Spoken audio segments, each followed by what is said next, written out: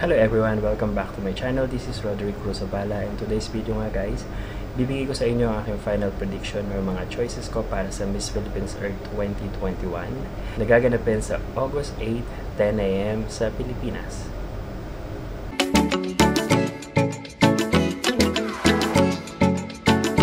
So bago ako magsimula guys, kung hindi pa kayo nakaka-subscribe at bago kayo sa akin channel at gusto nyo ang mga beauty pageant vlogs, mag-subscribe na kayo dyan sa button below.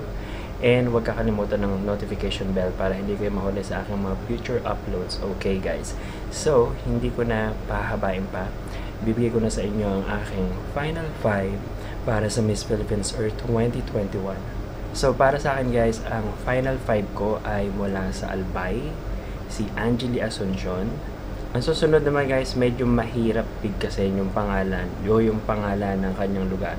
Subbong Kogon. Subbong Kogon, siya si Catherine Gipetasio. Gipetasio. Catherine Gipetasio mula sa Subbong Kogon. And then, ang susunod si Olongapo, Anita Rose Gomez.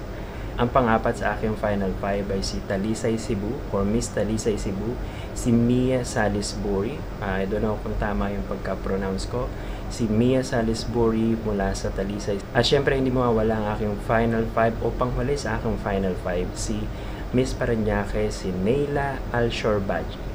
So yun na nga yung aking final five guys. So ano naman yung placement? So yung placement ko para sa kanila ay ito. So simulan natin sa para sa Miss Ecotourism. So para sa akin, ang Miss Tourism or Miss Ecotourism ko ay mula sa Albay. Siya si Angeli Asuncion. So I believe sumali siya sa Binibining Pilipinas noong 2018. Morena, maganda, and uh, may future ang babae na to. Okay, so siya ang para sa akin ang Miss Ecotourism Philippines 2021. Angeli Asuncion. At ang aking Miss Philippines Earth Fire ay walang iba kundi ang mukhang Vietnamese na napakaliit ng bewang. Hindi magpapatalo sa liit ng kanyang size ng waistline. Kitang-kita niyo naman.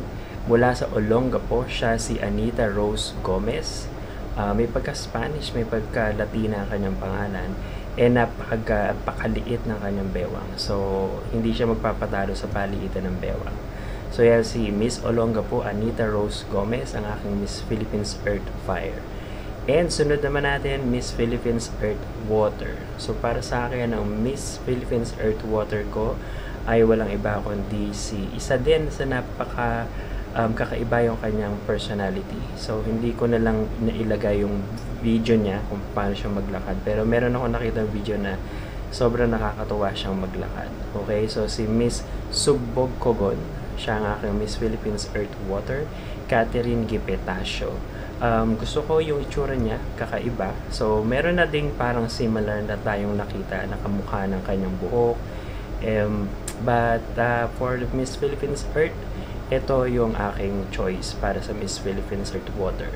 And para sa aking Miss Philippines um, Air, kung yon yung first runner-up, So, hindi ko nga pala masyadong alam guys kung paano yung place, yung placement. Kung yung air yung first runner-up o sunod sa Miss Philippines Earth o yung water. Basta ito yung susunod sa main winner.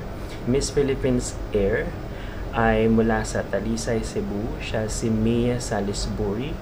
Uh, Tisa din. So, ito ay palagay ko, uh, hindi ko lang alam kung anong hub to. Pero for sure, may lahi din itong magandang babae na to mula sa Talisay, Cebu. So, Miss Philippines Air, Mia Salisbury.